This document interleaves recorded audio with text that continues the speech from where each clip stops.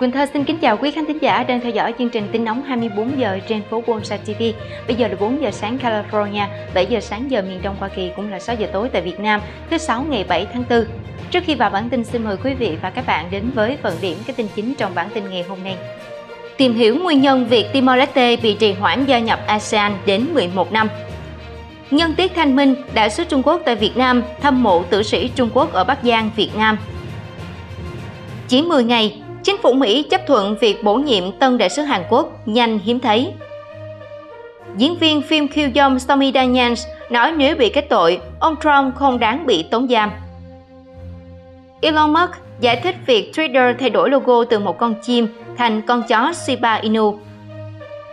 Tiffany Trump sẽ thay thế vị trí của Ivanka Trump với tư cách là first daughter của ông Trump.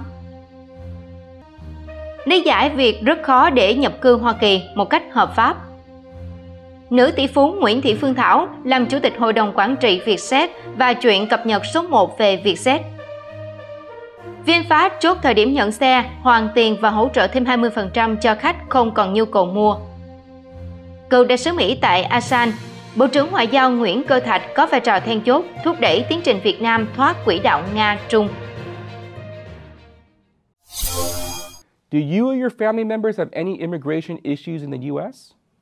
Have you ever wondered how many ways there are to get a green card and become a U.S. citizen?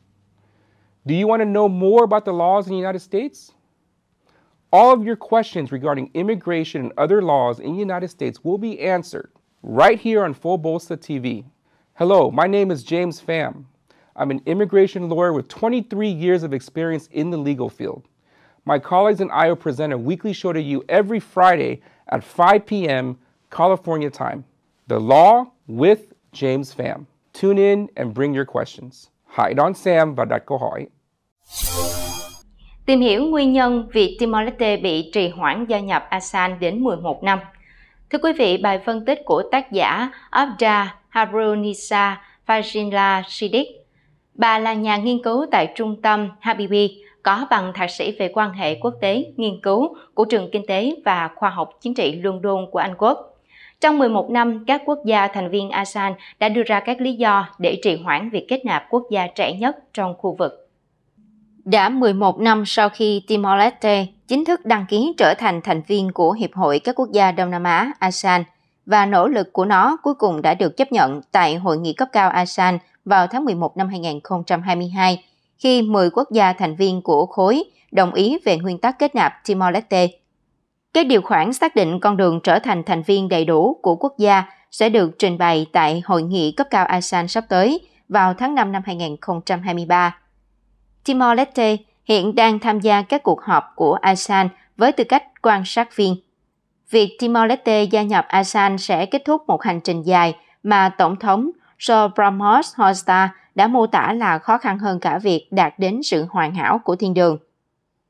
Timor-Leste phần lớn đã đáp ứng các tiêu chí để trở thành một quốc gia thành viên, như được giải thích trong Điều 6 của Hiến chương ASEAN kể từ năm 2015. Mặc dù vậy, thời gian chờ đợi của Timor-Leste nói lên nhiều hơn về sự chia rẽ hiện có trong nội bộ ASEAN về lợi ích theo kiểu có đi có lại mà mỗi quốc gia đạt được khi Timor-Leste gia nhập – lớn hơn bất kỳ rào cản chính thức nào đối với tư cách thành viên. Đặc biệt, sự chậm trễ kéo dài trong việc kết nạp Timor-Leste vào ASEAN phần lớn là do căng thẳng trong quan điểm của các quốc gia thành viên về việc tư cách thành viên của quốc gia non trẻ này sẽ ảnh hưởng đến nhóm như thế nào. Một số thành viên ASEAN dường như tin rằng Timor-Leste sẽ trở thành gánh nặng đối với ASEAN.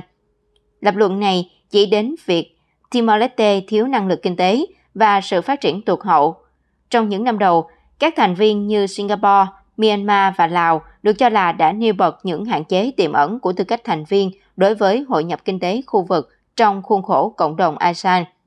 Lào cũng bày tỏ nghi ngờ về khả năng của Timor-Leste trong việc đáp ứng các nghĩa vụ của mình với tư cách là thành viên, đặc biệt là về các khoản đóng góp tài chính. Một nhà quan sát lập luận rằng rất khó để xác định liệu việc gia nhập của Timor-Leste có tạo ra lợi ích kinh tế cho phần còn lại của khối hay không. Đối với phe này, sự phụ thuộc của Timor-Leste vào nguồn thu từ dầu mỏ và khí đốt được cho là làm tăng thêm sức nặng cho những lo ngại đó. Trong suốt quá trình đăng ký làm thành viên, rủi ro do sự phụ thuộc quá mức của Timor-Leste vào dầu mỏ và khí đốt đã xuất hiện bởi sự biến động của thị trường dầu mỏ toàn cầu và doanh thu từ xuất khẩu dầu mỏ giảm sút. Các câu hỏi đã được đặt ra về khả năng đa dạng hóa nền kinh tế của Timor-Leste và hiệu quả hoạt động của chính phủ hợp hiến thứ 9 sẽ đóng vai trò then chốt trong việc xác định liệu Timor-Leste có thể chấm dứt sự phụ thuộc vào nguồn vốn từ nguồn thu từ dầu khí hay không. Ở một mức độ nào đó, các lập luận tập trung vào năng lực kinh tế của Timor-Leste đóng vai trò là cái cớ cho sự phản đối có động cơ chính trị đối với tư cách thành viên của nước này. Một số nhà quan sát đã đưa ra những so sánh giữa việc gia nhập của Campuchia, Lào, Myanmar và Việt Nam trong những năm 1990 và nhấn mạnh những điểm không nhớ quán. Bỏ qua các yếu tố liên quan đến hiến chương ASEAN vốn không tồn tại khi bốn quốc gia này được kết nạp. Nhiều học giả đã lập luận rằng sự do dự của ASEAN phản ánh sự chia rẽ tiềm ẩn giữa các quốc gia thành viên. Đặc biệt, những nhà quan sát này chỉ ra sự rạn nứt tiềm ẩn giữa các quốc gia thành viên dân chủ và phi dân chủ.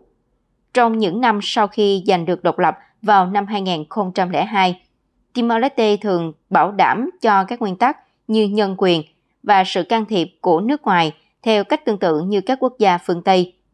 Quan điểm này thậm chí còn nổi bật hơn nếu người ta xem xét sự ủng hộ của các nhà lãnh đạo như Tổng thống Pramos Hota dành cho bà Aung San Suu Kyi của Myanmar.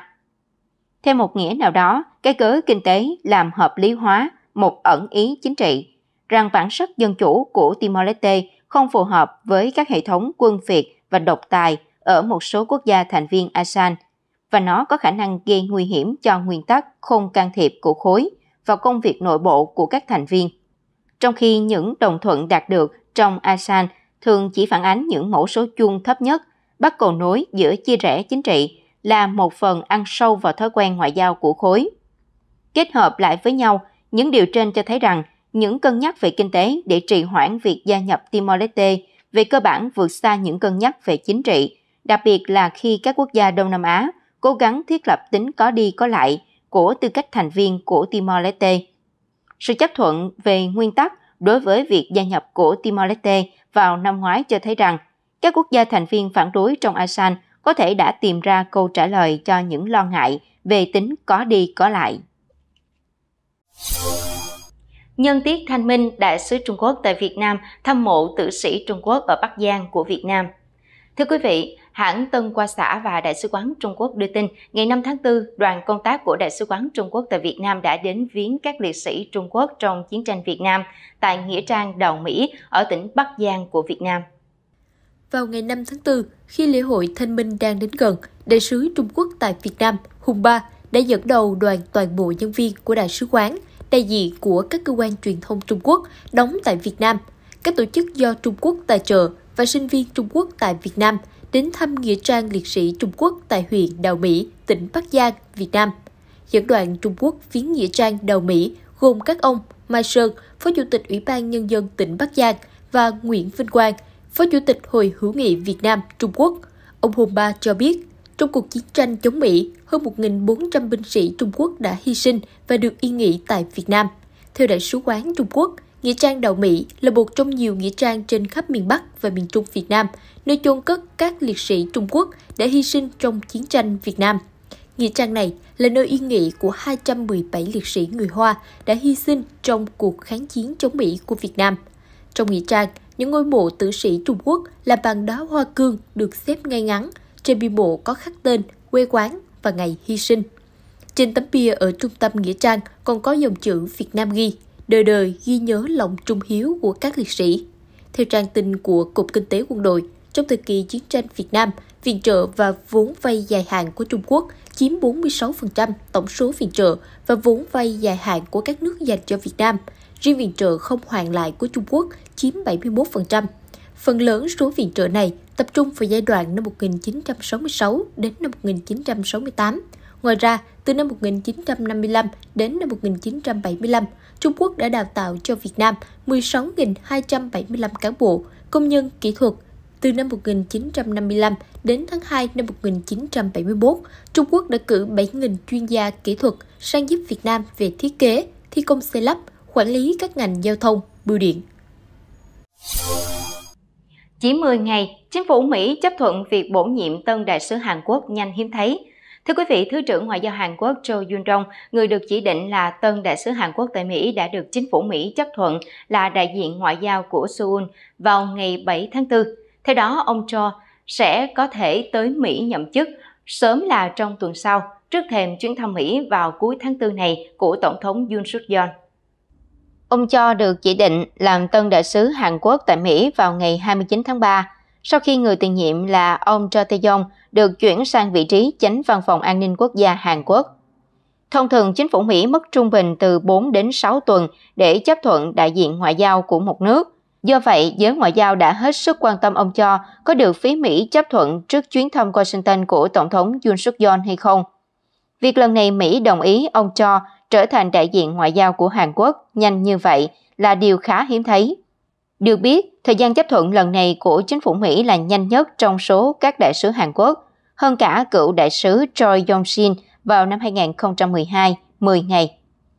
Tân đại sứ Choi Yun-dong được biết đến là nhà ngoại giao kỳ cựu về quan hệ Mỹ-Triều, vấn đề hạt nhân miền Bắc, từng giữ chức công sứ đại sứ quán Hàn Quốc tại Mỹ và trưởng ban hoạch định ngoại giao hạt nhân Bắc Triều Tiên. Ông cũng từng đóng vai trò quan trọng trong việc điều phối các vấn đề nổi cộm trong quan hệ Hàn Mỹ, đảm trách chung các nước trong khu vực trên cương vị là Thứ trưởng Ngoại giao. Ngày 5 tháng 4 vừa qua, ông Cho đã có cuộc gặp với giám đốc cấp cao phụ trách khu vực Đông Á, Châu Đại Dương, thuộc Hội đồng An ninh Quốc gia Mỹ NSC, Esgan Karagan tại Seoul, thảo luận về chuyến thăm Mỹ của Tổng thống Yoon suk yeol Diễn viên phim Kill Young Stormy Daniels nói nếu bị kết tội, ông Trump không đáng bị tốn giam. Thưa quý vị, Stormy Daniels, ngôi sao phim người lớn đang ở vị trí trung tâm của vụ án hình sự chống lại Donald Trump, cho biết cô không nghĩ cựu Tổng thống Hoa Kỳ phải ngồi tù nếu bị kết tội che giấu các khoản tiền bịt miệng mà ông ta đã trả cho cô. Cụ thể, với trường hợp của tôi, tôi không nghĩ rằng tội ác của ông ta đã làm đối với tôi đáng bị tống giam, nếu ông ta bị kết tội mà chắc chắn là có tội. Stormy Daniels, 44 tuổi, nói trong một cuộc phỏng vấn với biên tập viên Pierre Morgan của đài Fox Nation, được phát sóng vào thứ Năm ngày 6 tháng 4.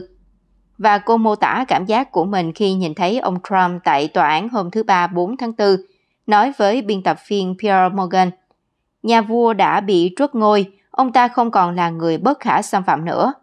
Và không ai là bất khả xâm phạm, không quan trọng công việc của bạn là gì, cho dù bạn có phải là tổng thống hay không, bạn phải chịu trách nhiệm về hành vi của bản thân, cô nói.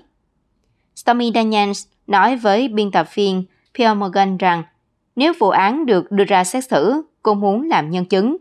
Tôi không có gì phải che giấu, tôi là người duy nhất nói sự thật, cô nói.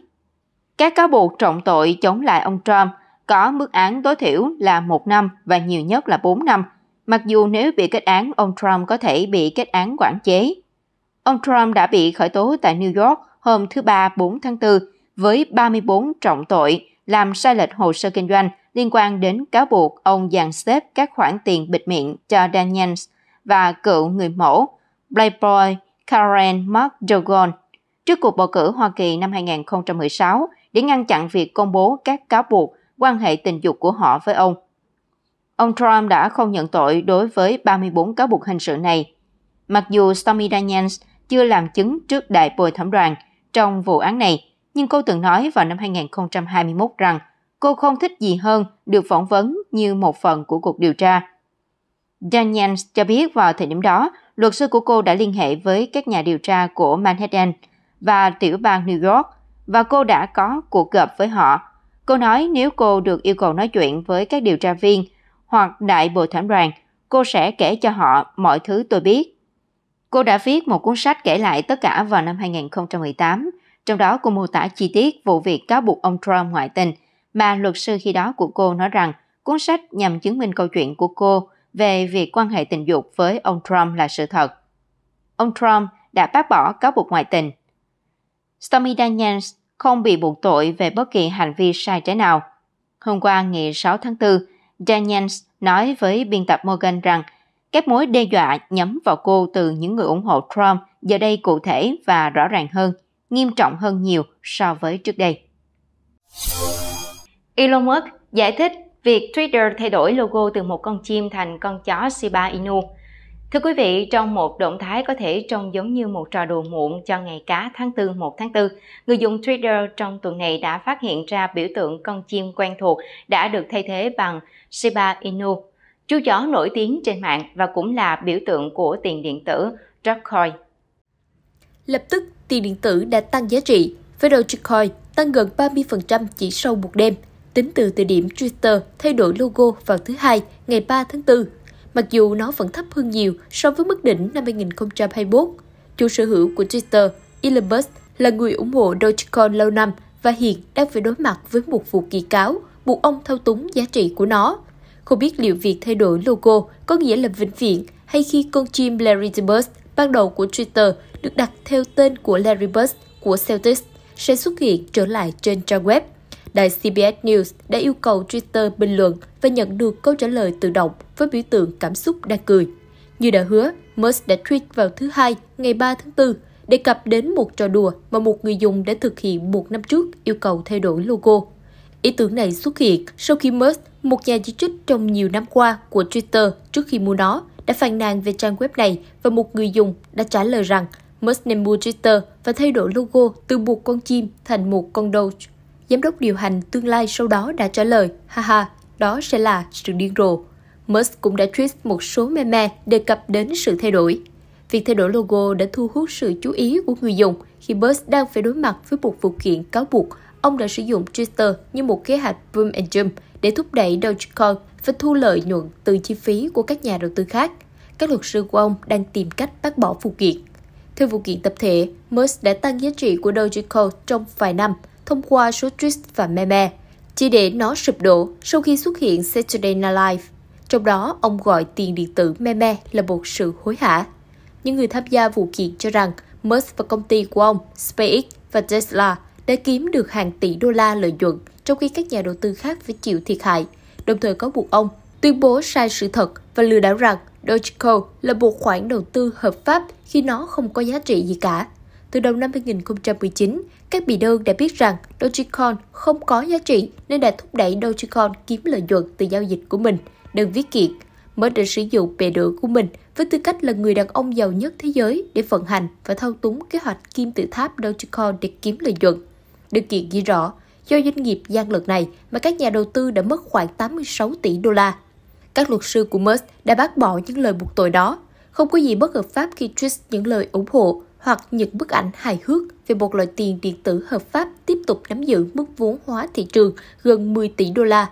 Các luật sư của Musk đã viết trong một yêu cầu chính thức để bác bỏ vụ kiện, được đệ trình vào thứ Sáu. Họ cho rằng các tuyên bố của Musk chẳng hạn như Dogecoin Rules hoặc không có mức cao, không có mức thấp, chỉ có Doge, là mơ hồ và chủ quan và không có nghĩa là xuyên tạc hoặc thiếu sót.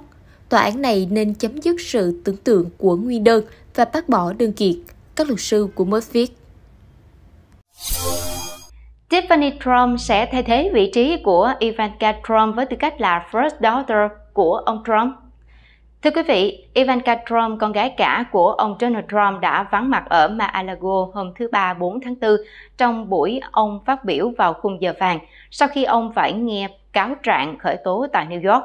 Nhưng cần lưu ý rằng cô con gái khác của ông Trump, Tiffany, lại là người đứng hàng đầu và là trung tâm của sự kiện này.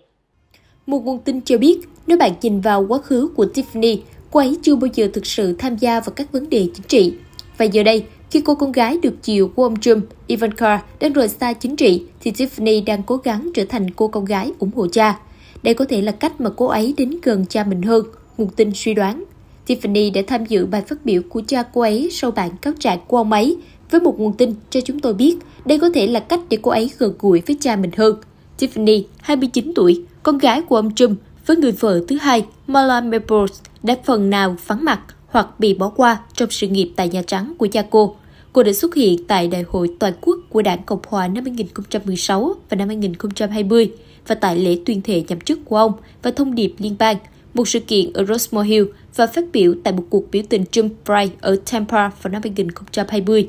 Trong khi đó, Ivanka trước đây thường xuyên có mặt trong các chiến dịch tranh cử và từng là cố vấn cho Tổng thống trong thời gian cha cô tại vị.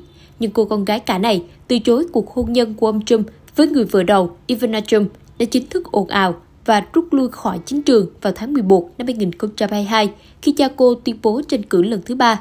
Cô nói trong một tuyên bố, Tôi yêu cha tôi rất nhiều. Khoảng thời gian này, tôi đang chọn ưu tiên cho những đứa con nhỏ của mình và cuộc sống riêng tư mà chúng tôi đang tạo ra với tư cách là một gia đình.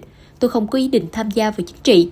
Một nguồn tin trước đây đã nói rằng Ivanka, 41 tuổi, và chồng Charles Kushner, 42 tuổi, không muốn dính dáng gì đến những rắc rối pháp lý mới nhất của ông Trump. Họ đã tránh xa và cặp đôi đang hạnh phúc xây dựng cuộc sống ở Miami.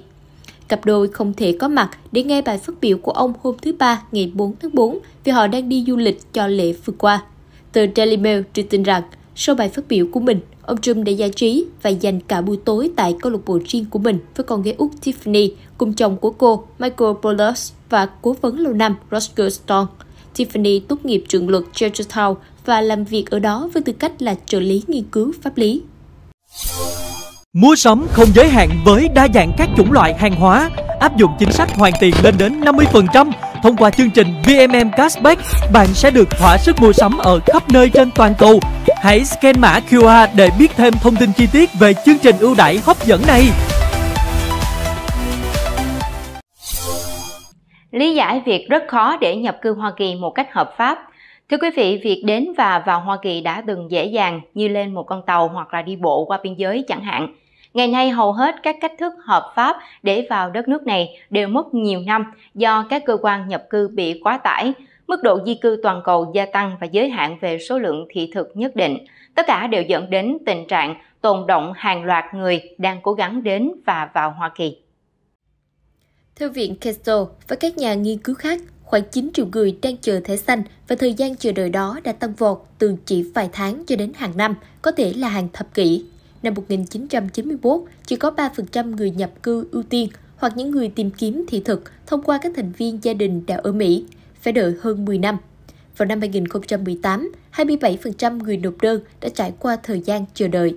Hoa Kỳ đã không tăng số lượng thị thực nhất định mà họ cấp mỗi năm kể từ năm 1990 khi Tổng thống George W. Bush ký một dự luật nhập cư đặt ra hạn ngạch dựa trên dân số, nhu cầu lao động và kinh tế của đất nước vào thời điểm đó. Kể từ đó, nhiều khu vực ở châu Phi, Trung Mỹ, Caribe và Trung Đông đã chứng kiến những bất ổn về kinh tế và chính trị, buộc hàng triệu người phải chạy sang Mỹ và châu Âu. Các cơ quan nhập cảnh đã trở nên quá tải, hệ thống nhập cư Hoa Kỳ tồn động hơn một triệu trường hợp. Hệ thống đăng ký nhập cư vào Hoa Kỳ cũng phức tạp và khó điều hướng. Có ba loại thị thực chính, dựa trên gia đình, dựa trên việc làm và sự đa dạng, mặc dù chính phủ chỉ cho phép 50.000 thị thực cho loại sâu mà hàng triệu người nộp đơn mỗi năm. Ngoài ra, còn có các hướng cho phép mọi người tạm thời sống và làm việc tại Hoa Kỳ.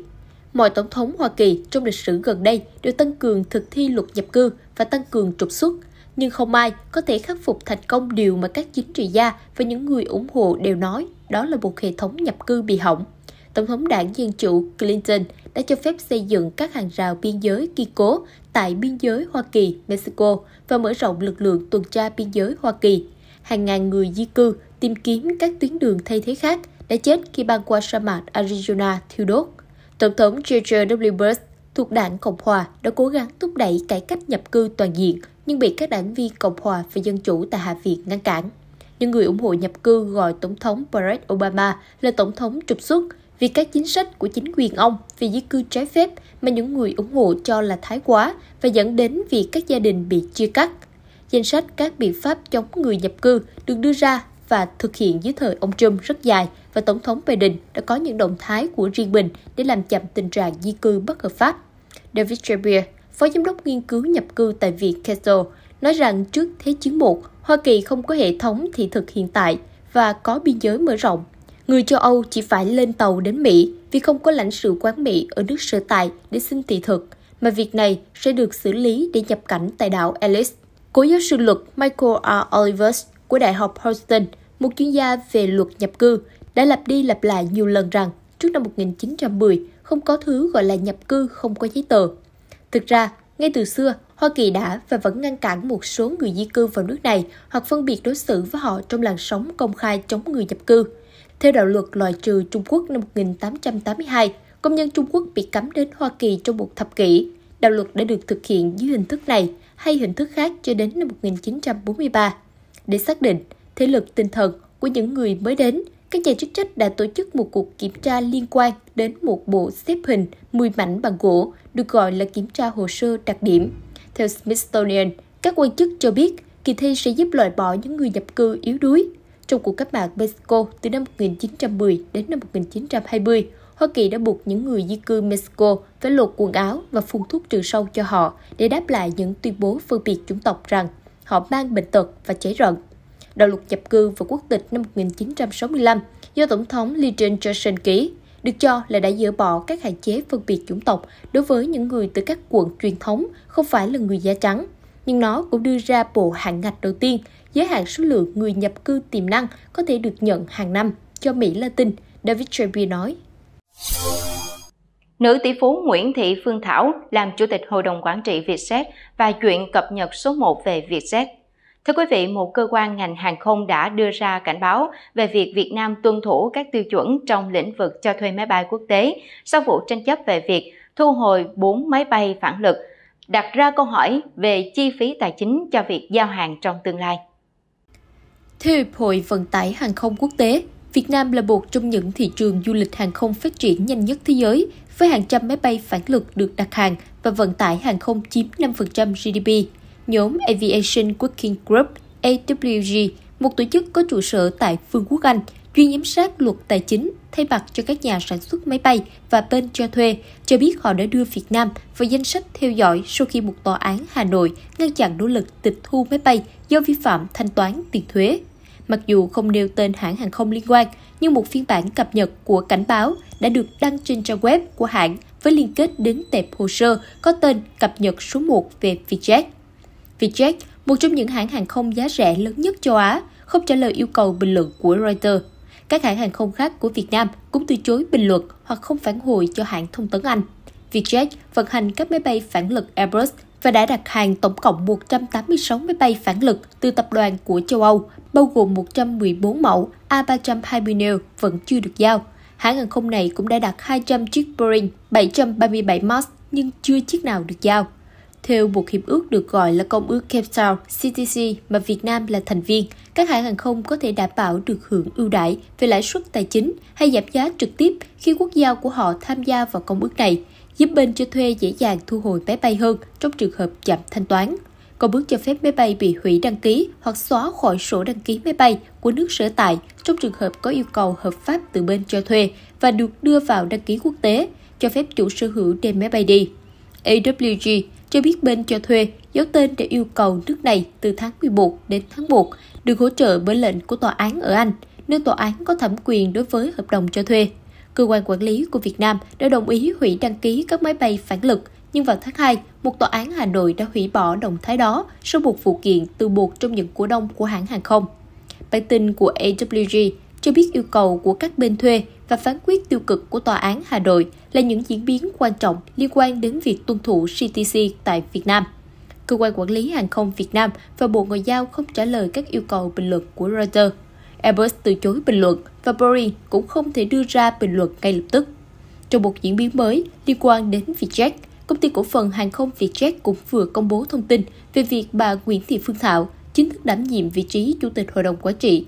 Ông Đinh Việt Vương được bổ nhiệm làm Tổng Giám đốc theo đó, từ ngày 6 tháng 4 năm 2023, bà Nguyễn Thị Phương Thảo sẽ đảm nhiệm vị trí Chủ tịch Hội đồng Quản trị công ty, kế tiếp vị trí của bà Nguyễn Thanh Hà. Còn ông Đinh Việt Phương, Giám đốc điều hành, được bổ nhiệm làm Tổng Giám đốc. Bà Nguyễn Thị Phương Thảo là nhà sáng lập Vietjet, với mong muốn thực hiện hóa giấc mơ bay cho tất cả mọi người dân khắp trong và ngoài nước. Nữ doanh nhân, nữ tỷ phú đô la, từ thân đầu tiên của Việt Nam và cả Đông Nam Á, từng đảm nhiệm chức vụ Phó Chủ tịch Hội đồng Quản trị Tổng Giám đốc Vietjet trong nhiều năm, cùng với nguyên Chủ tịch Nguyễn Thanh Hà, với những dấu ấn đậm nét cùng Vietjet mang tới những thay đổi mang tính cách mạng trong ngành hàng không. VinFast chốt thời điểm nhận xe, hoàn tiền và hỗ trợ thêm 20% cho khách không còn nhu cầu mua. Thưa quý vị, ngày 6 tháng 4, VinFast công bố chính sách mới về việc chốt cọc và hoàn cọc cho khách hàng đã đặt mua ô tô điện VF i34 và VF8 theo đó, VinFast đề nghị khách hàng đã đặt cọc cam kết 50 triệu đồng thực hiện các thủ tục mua xe trong vòng 7 ngày. Khách hàng đã đặt cọc tiên phong 10 triệu đồng, đăng ký thời điểm nhận xe và chuyển sang trạng thái đặt cọc cam kết trong vòng 15 ngày. Trường hợp khách hàng không còn nhu cầu nhận xe, VinFast sẵn sàng hoàn cọc và hỗ trợ vô điều kiện thêm 20% trên số tiền đã đặt. Chính sách mới được hãng xe Việt công bố nhằm chấm dứt tình trạng đầu cơ voucher và đặt cọc ảo, nhằm đảm bảo quyền lợi cho khách hàng và mang lại sự minh bạch công khai trên thị trường. Cụ thể, kể từ ngày 6 tháng 4, VinFast đề nghị khách hàng đã đặt cọc cam kết mua xe 50 triệu đồng, thực hiện các thủ tục mua xe trong thời hạn 7 ngày. Tương tự, kể từ ngày 6 tháng 4, khách hàng đã đặt cọc tiên phong để giữ chỗ mua xe trị giá 10 triệu đồng, cũng có 15 ngày để đăng ký thời điểm nhận xe và chuyển thêm 40 triệu đồng để chuyển sang trạng thái đặt cọc cam kết. Thời điểm nhận xe hạn chót căn cứ theo voucher VinFast. Sau các thời hạn nêu trên hoặc sau khi đăng ký thời điểm nhận xe, nếu khách hàng không nhận xe đúng thời điểm đã cam kết, VinFast được phép chấm dứt hợp đồng, thỏa thuận đặt cọc và giữ lại số tiền cọc theo đúng quy định, đại diện hãng xe cho hay. Đối với khách hàng không còn nhu cầu mua xe, VinFast sẵn sàng hoàn trả 100% tiền cọc, tặng kèm thêm 20% chi phí hỗ trợ trên số tiền khách hàng đã đặt. Đồng thời, thu hồi các voucher đã tặng theo chương trình Người tiên phong tri ân người tiên phong, bao gồm voucher mua xe VinFast và voucher nghỉ dưỡng Vinpearl. Kể từ ngày 6 tháng 4, voucher nghỉ dưỡng Vinpearl sẽ chỉ có giá trị sử dụng sau khi khách hàng hoàn tất các nghĩa vụ thanh toán và nhận xe theo hợp đồng. Thời gian nhận yêu cầu hoàn cọc sẽ kéo dài từ nay đến hết ngày 21 tháng 4. Sau thời gian trên, hãng cho biết sẽ không giải quyết việc hoàn trả cọc và khách hàng sẽ không có quyền khiếu nại về sau. Với việc công bố chính sách mới, hãng xe Việt cam kết sẽ thiết lập một môi trường kinh doanh minh bạch, chấm dứt tình trạng đầu cơ voucher gây ảnh hưởng tiêu cực trên thị trường thời gian qua. Đặc biệt, điều khoản hoàn cọc vô điều kiện tặng thêm chi phí hỗ trợ lên đến 20% số tiền đã nộp là chưa từng có tiền lệ, đã khẳng định tinh thần đặt quyền lợi khách hàng lên trên lợi ích doanh nghiệp của VinFast. Đại diện đơn vị này thông tin thêm. VinFast sẽ liên hệ trực tiếp với từng khách hàng đã đặt cọc để hỗ trợ hoàn cọc hoặc làm thủ tục đăng ký mua xe. Khách hàng có thể liên hệ tổng đài 1900 232389 để biết thêm thông tin chi tiết. Cùng với chính sách kiện toàn thị trường, VinFast đang tập trung các nguồn lực để cung cấp sản phẩm dịch vụ với chất lượng ngày càng cao hơn, đảm bảo các tiêu chí xe tốt, giá tốt, hậu mãi cực tốt. Cựu đại sứ Mỹ tại ASEAN, Bộ trưởng Ngoại giao Nguyễn Cơ Thạch có vai trò then chốt thúc đẩy tiến trình Việt Nam thoát quỹ đạo Nga-Trung. Thưa quý vị, cựu đại sứ Mỹ tại Hiệp hội các quốc gia Đông Nam Á ASEAN và một số nước Đông Nam Á Scott Marshall Nhìn lại quá trình mối quan hệ song phương Việt-Mỹ, ông nhắc đến công lao của Bộ trưởng Ngoại giao Nguyễn Cơ Thạch, người góp phần then chốt thúc đẩy tiến trình ngoại giao của Việt Nam với Mỹ và phương Tây thoát quỹ đạo Nga-Trung. Trích dẫn vào giữa đến cuối những năm 1980, một sự thay đổi bắt đầu xảy ra khi Việt Nam bắt đầu cải cách kinh tế và tìm cách giảm bớt sự phụ thuộc vào một liên bang Xô Viết đang chững lại.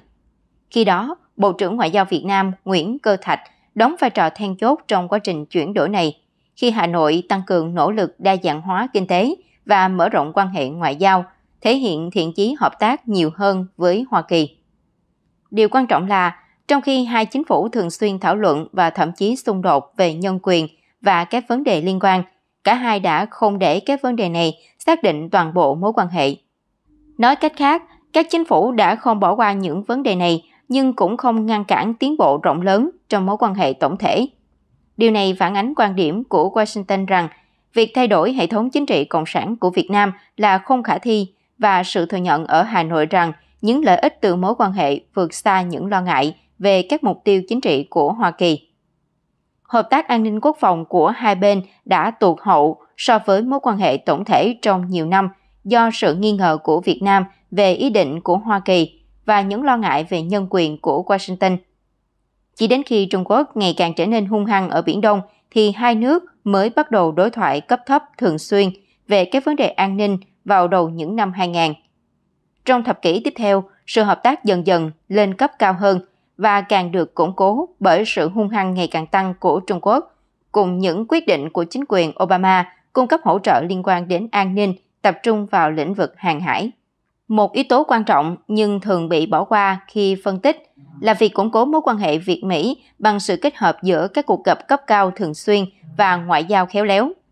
Ngay từ đầu, các quan chức cấp cao của Việt Nam đã tích cực tìm kiếm các cuộc gặp cấp cao với các nhà lãnh đạo Hoa Kỳ, tạo nên sự khác biệt với các nhà ngoại giao Đông Nam Á khác, những người đã thực hiện một cách tiếp cận khiêm tốn hơn.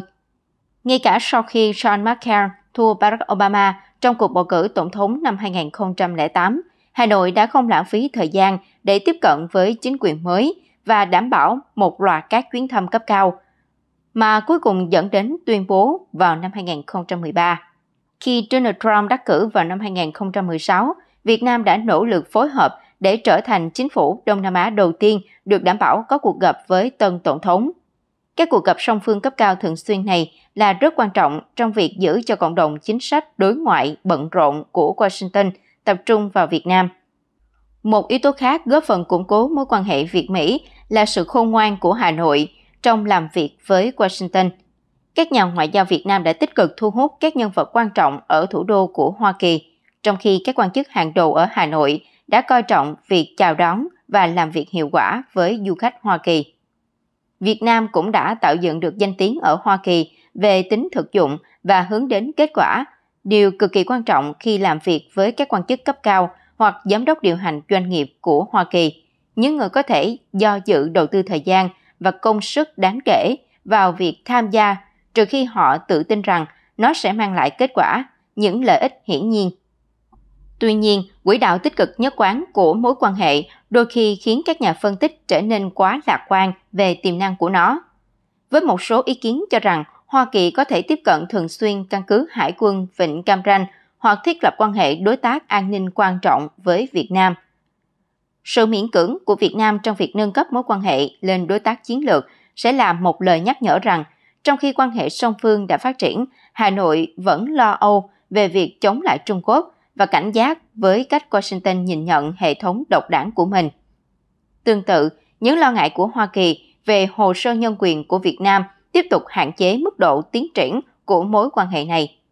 Mặc dù điều này có thể làm một số người thất vọng, nhưng thực tế vẫn là hành trình từ những kẻ thù cũ trở thành những người bạn hiện tại, là một thành tựu đáng chú ý và là một ví dụ điển hình về ngoại giao thành công. Tóm lại, hành trình của Hoa Kỳ và Việt Nam từ thù thành bạn là một chặng đường đáng chú ý, được đánh dấu bằng những bước tiến quan trọng trong quan hệ ngoại giao và kinh tế. Sự hợp tác đang diễn ra và quan hệ đối tác ngày càng tăng giữa Hoa Kỳ và Việt Nam, làm nổi bật sức mạnh của ngoại giao và tiềm năng để các quốc gia gạt bỏ những xung đột trong quá khứ và cùng nhau hướng tới một tương lai chung. Hết trích dẫn. Xin chào quý vị, tôi tên là David Trần. Chắc quý vị còn nhớ tôi đã từng giúp rất nhiều quý vị kiếm được tiền qua chương trình PPP của chính phủ Mỹ trong thời gian Covid vừa qua trên phố Bosa TV. Hôm nay David muốn giới thiệu tới quý vị một chương trình mới để kiếm được tiền, rất nhiều tiền mà không cần vốn. Quý vị đang xài điện thoại, quý vị đang trả hóa đơn bảo hiểm xe, bảo hiểm nhà, bảo hiểm sức khỏe hàng tháng. Đó là những nguồn tiền mà quý vị sẽ được thu vào thay vì chỉ trả ra. Làm như thế nào? Hãy đón xem chương trình Không sợ nghèo với David Trần hàng tuần trên phố Bosa TV. Kính chào quý khách của văn phòng Angela. Chúng tôi hân hạnh giới thiệu đến các bạn các dịch vụ của văn phòng công ty chúng tôi là DMV, sang tên xe, bảo hiểm, dịch thuật, các dịch vụ pháp lý và đầu tư.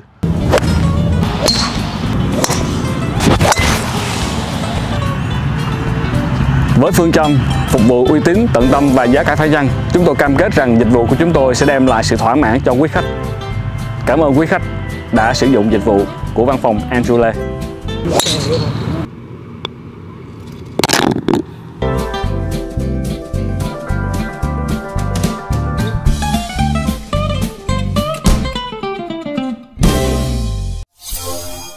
Tin nóng 24 giờ cập nhật liên tục vào 4 giờ sáng giờ miền Tây, 7 giờ sáng giờ miền Đông Hoa Kỳ và 6 giờ tối tại Việt Nam. Huỳnh Thơ xin cảm ơn quý khán thính giả đã quan tâm theo dõi. Quý vị nhớ bấm đăng ký kênh và bấm quả chuông dưới góc phải màn hình để được thông báo những tin tức mới nhất nhé. Còn bây giờ xin chào và hẹn gặp lại quý vị ở chương trình được phát sóng kỳ sau.